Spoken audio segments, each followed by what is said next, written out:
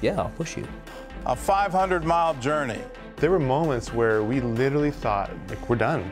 That forged a friendship and strengthened faith. God was with us every step of the way. Plus, a boy killed in a car crash until a miracle brings him back. Find out who he met in heaven on today's 700 Club Interactive. Well, welcome to the show. Seven year old Liam has reason to celebrate. Last year, doctors discovered an aggressive brain tumor and gave him little chance of surviving the year. But just last week, this young fighter from Maine received his final treatment. And during the past few months, Liam captured the hearts of community members, including the local police. Before that final hospital visit, his mom noticed five police cruisers in the family's driveway. The sheriff's department wanted to give him a lift. His mother was moved by the good deed. Yeah, I cried a little bit though, um, just to see how many people came out to support him and show their love for him was People it was love really me. touching. People love me. And I think he's done so much for our community and for all of us. Yes, he's doing awesome. I'm good. Awesome. Love the Batman mask.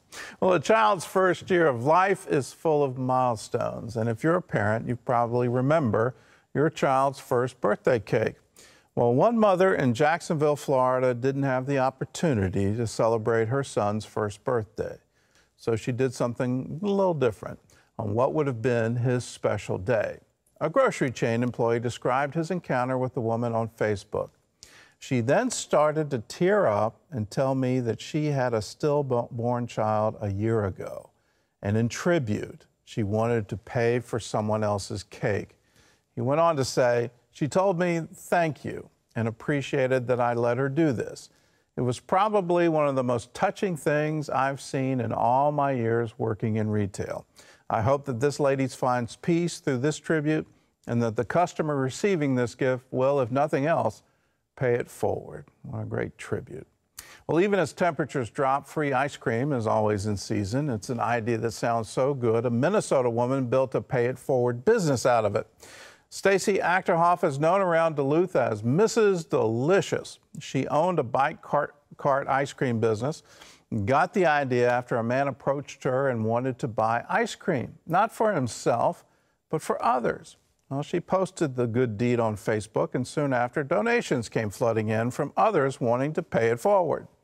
Well, now she offers free ice cream, and most customers are quick to donate right back. And she re- recently told KARE News people want to know that goodness is prevailing over evil, and they want to be a part of that. And what a wonderful thing. Yes, indeed, goodness, light always overcomes the darkness. Well, the sport of ice hockey, while popular in the United States, is most prominent in Canada and Eastern Europe.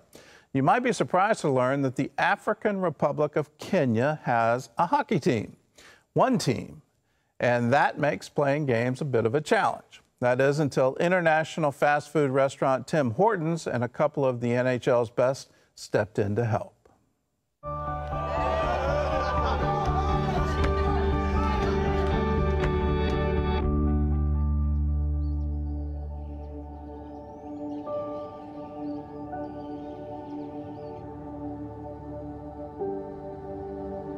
I had no idea what ice hockey was. I saw guys playing a game, but I couldn't understand how they were moving. They were like sliding, that was not running.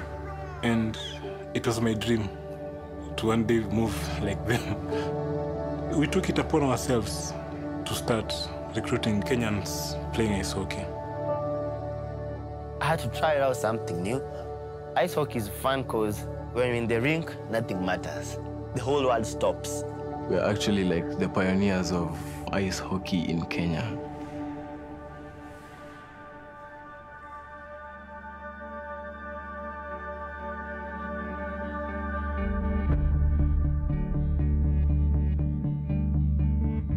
Canada is the home of hockey. Any hockey player would love to have the Canada experience.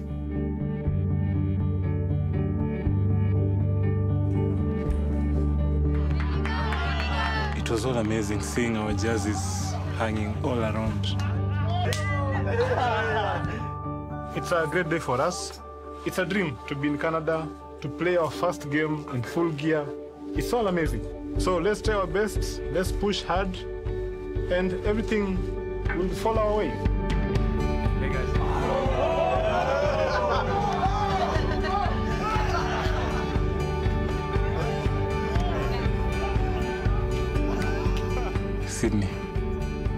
Seeing my favorite player coming through the door wearing our jersey, I felt like I was in heaven.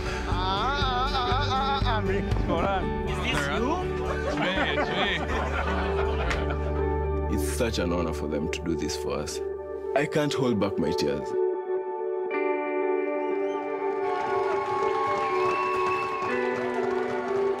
We get to compete against another team. You know, we used to playing against ourselves.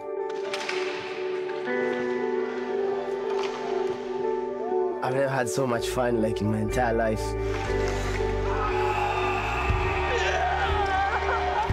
What a pass! That's the best part about the game, is just how it reaches so many people and a place like Kenya where you wouldn't think that there's even ice. I didn't really know what to expect, but I thought those guys looked great. It's cool to see the genuine excitement that they had, and it got us really fired up. To meet people from different places and to share the game that we love to play, I think I had just as much fun as any of those guys did today. We thank Tim Hortons for believing in us. The support that we're given will help us grow the sport in Kenya.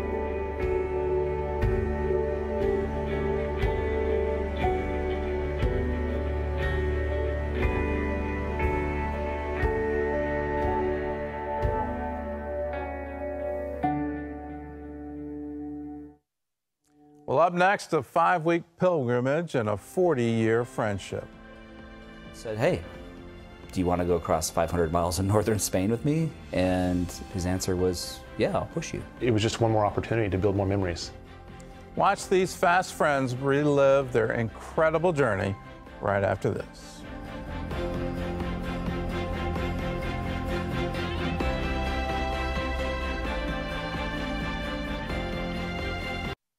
Justin and Patrick have been friends for 40 years. So when Justin decided he wanted to complete a 500 mile hike, well, Patrick was eager to go and instantly said, I'll push you.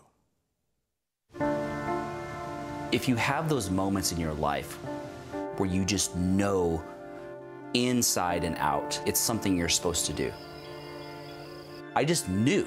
I just knew. For Justin Skeesuck, it would be the epic adventure he and lifelong friend Patrick Gray had talked about for years. A 500 mile trek on the legendary El Camino de Santiago. For centuries, people have been making the pilgrimage that traces the steps of James the Apostle, from the foot of the French Pyrenees to the Santiago de Compostela Cathedral on the west coast of Spain. Every year, roughly 250,000 hike the trail, but very few do it in a wheelchair.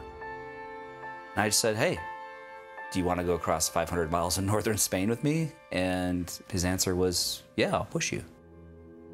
I didn't have any other thought than, yeah, I'll push you, because we've, we've just shared so much of life together, and it was just one more opportunity to build more memories. It's a friendship that started 40 years ago. Together, they have supported one another through tournaments, graduations, milestones, and even disease. In 2004, Justin was diagnosed with multifocal acquired motor axonopathy, an autoimmune disease that has slowly robbed him of all of his motor skills and will eventually take his life. It has left him completely dependent on his wife Kirsten for daily care. But Patrick didn't give it a second thought. We didn't think about the challenge. We had no idea how difficult it was going to be. it was just, okay, the decision's been made. It's important to him, so it's important to me.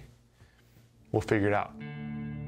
The hike is a five week trek that traverses mountains, rivers, and desert.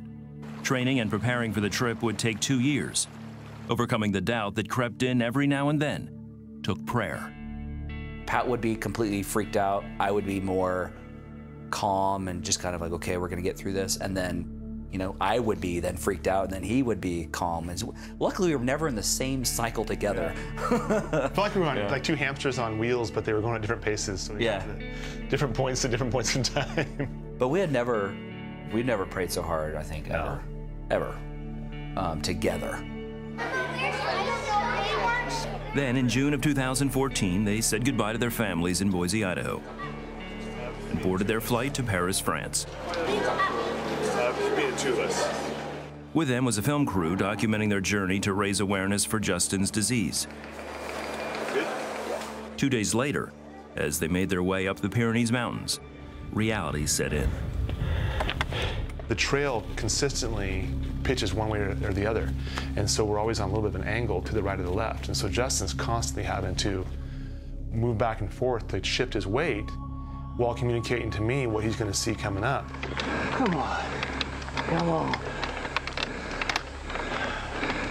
We had some very steep declines, and we had safety harnesses attached to me, and they'd have to, two or three people would have to get behind Patrick. Stop. Stop, Pat. Pat, stop. I've stopped. Okay, back, back up. Back, okay. Okay. I'm tilted. My wheelchair weighs about 250 pounds Yeah. with me in it and the weight of gear and, and the chair itself and whatnot. So it's quite it's quite heavy and it'll pull you straight down straight down a hill. And it's very slow moving going up. One, two, three. This way. There were moments where we literally thought this might be it for the day. Like, I, like we're done. Mechanical malfunction. Oh, oh gosh. It's hard not to feel like a burden in this. Dude. Got it? Oh, I'm cramping. And I, I don't know how much time he has. You know. It's really hard to let somebody do that for you.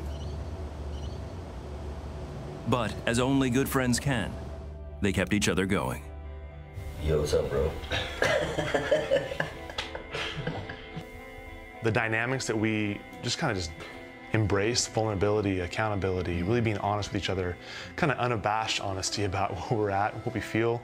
Um, if we don't agree with something just throwing it all out there and being okay a saying it and b being okay receiving it has just created this this dynamic that exists where there's no fear.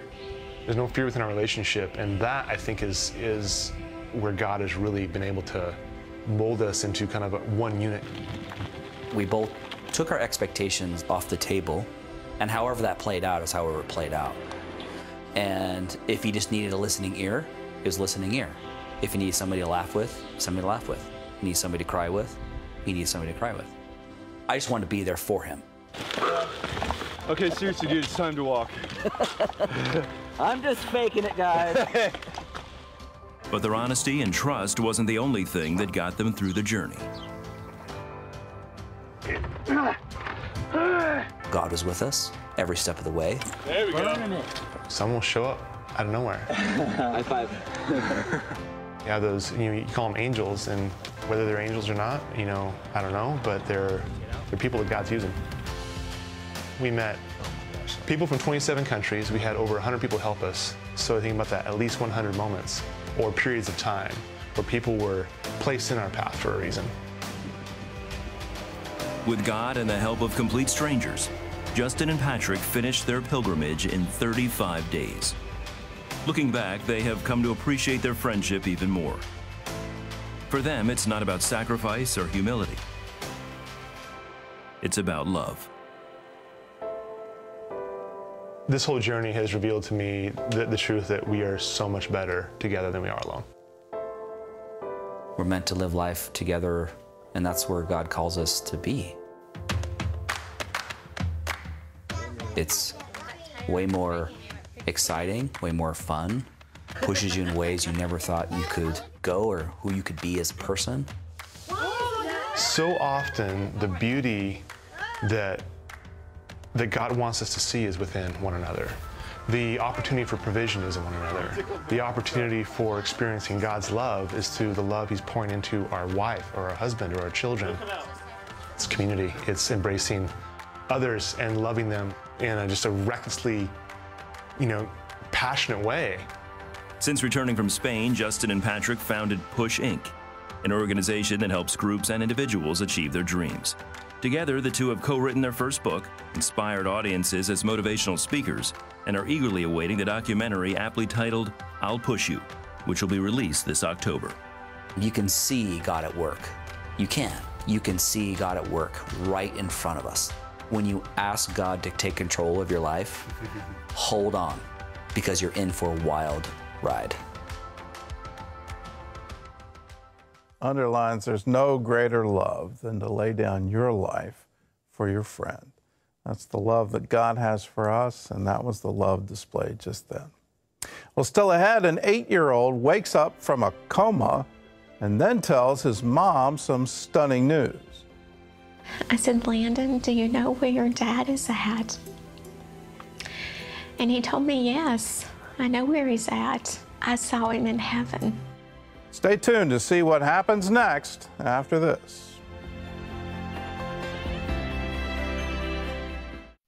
A recent Barna study found that most Americans still believe in miracles, with over a quarter of those surveyed believing that the miraculous healing isn't just something they say may be true, it's something they've experienced firsthand. Well, we want to show you the miraculous story of Landon Whitley. Landon was just eight years old when he was driving home from church with his family when their car was crushed at an intersection by an ambulance. Well, Landon's dad died at the scene, and so did Landon. Take a look. I didn't see what he was yelling at. I didn't see the ambulance coming, but I remembered him yelling. That was the last thing I heard from him. On a Sunday morning in 1997, Julie Kemp, her husband Andy, and their eight year old son Landon were driving home from church when an ambulance returning to its station broadsided their car in an intersection. Andy died instantly. Rescuers stabilized Julie, but did not realize there was a third passenger in the car. They couldn't see his body because of the damage that was done to the driver's side of the car, and Landon was sitting behind his dad. And when they saw Landon's shoe, it took a deeper search for his body. When they pulled Landon out um, from the back of the car, he was not breathing. And they all started working on him right away to bring him back. Landon was resuscitated and life flighted to Carolinas Medical Center. He died two more times that day, and both times he was brought back to life. Doctors didn't give Julie much hope for his survival. They told me that if he lived, which did not look good, but that if he lived, that he would be like an eight-year-old baby, that um, he would not know how to walk or talk or to eat. I was so desperate that that was okay. I would take that just to have him. He was all that I had. At her husband's funeral, Julie remembers feeling abandoned by God. I was very disappointed, heartbroken. And while I'm sitting at the funeral, I'm fussing at God. I don't understand um, why this happened. I don't understand um, why He didn't send angels to protect us. But in the very next breath, I'm praying as hard to Him as I've ever prayed in my life for Landon to live. Landon had suffered massive head trauma during the accident and remained in a coma. He's hooked up to all kinds of machines to keep him alive. And there are no signs. There's nothing good or bad. They see nothing happening. I kept praying that he would open his eyes. After two weeks in a coma, Landon opened his eyes. To everyone's amazement, he had no brain damage. But in the midst of her joy, Julie knew she had to tell Landon about his father. He had scars on his face, and his head was just full of hurt. And I didn't want to hurt him anymore. So I asked Landon, I said, Landon, do you know where your dad is at? And he told me, yes, I know where he's at. I saw him in heaven. Landon is now grown, but still clearly remembers his amazing experiences in heaven. I remember being able to see my dad and his friend Olin Palmer, who had passed away less than a month before he did, also in a car accident, and Olin's son Neil Palmer, who had died on a four-wheeler years before. Never one of us said a word to each other, but we were just all standing there. he looked over to me and says, Oh, mom, by the way, I forgot to tell you, I saw your other two kids. And I just looked at him because um, I, I wasn't sure what he was talking about. But um, I had two miscarriages before Landon was born. We had never shared that with Landon. He did not know that um, we had lost two children before him. I knew that they were my siblings, even though no one had ever told me about them. Just being in heaven, I I guess you know you know your own, or you know who everyone is. He says each time he died, he had a different experience in heaven. During the third time, he says he met Jesus and was given a mission. It was almost as if like um, a preview of a movie to where you only get to see certain bits and pieces of things. Jesus came to me and told me that I have to go back to earth and be a good Christian and tell others about him. Today, through Grief Share, Landon and Julie use their story to help others who are struggling with loss and in need of hope.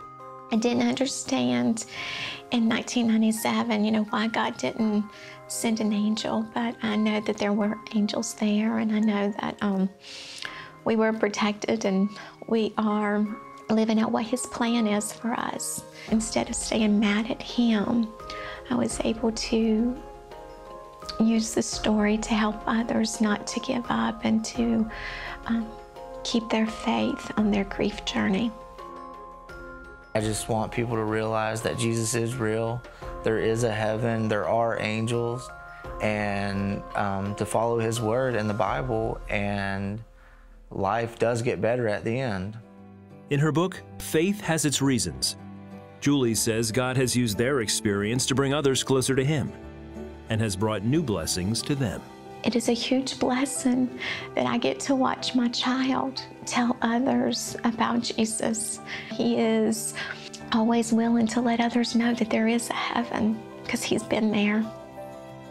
I know I'm doing it for Jesus. I know that He's real. I know that angels are there. I know that there's a heaven. I'm not doing it for someone who I don't know or I've never seen. I've seen Jesus. I know He's there. He's asked me to doing this, and this is what I'm doing. Story underlines that so often we don't understand. And why wasn't an angel sent to stop, to intervene?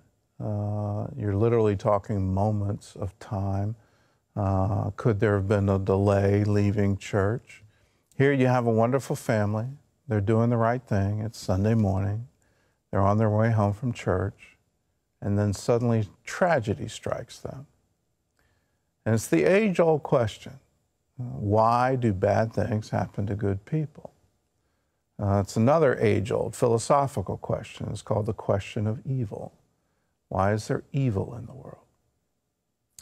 But in those times and in that grief, instead of getting mad at God, realize that God has already taken care of it. He already has a heaven for us. All He's doing is waiting for us to get there. Jesus said something very mysterious, and, and it's, it's one of the verses that puzzles me.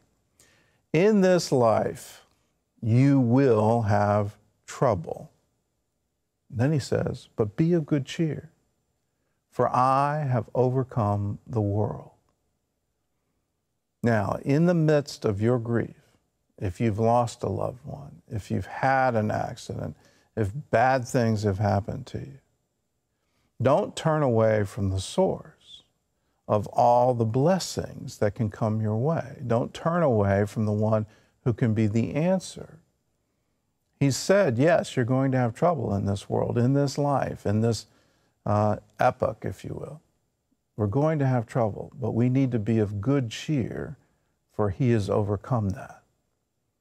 And wherever you stand in that journey with Him, and whether the answer to your prayer comes now or comes in heaven, realize that He is able to work all things together for your good. So, what, when you're tempted to be mad at God for what's happened, when you're tempted to say, I want to turn away, if this is, if this is what it means, then I want to turn away. Where else can you go? Because He is the one who has the words of life. If you're going through a time of grieving and you just want to pour out your heart, let someone pray for you. We're here for you. All you have to do is call us 1 800 700 7000. And here's a word for you. And just believe in this there is hope for tomorrow. I am the resurrection and the life. He who believes in me, though he may die, he shall live. For all of us here, God bless you. We'll see you again.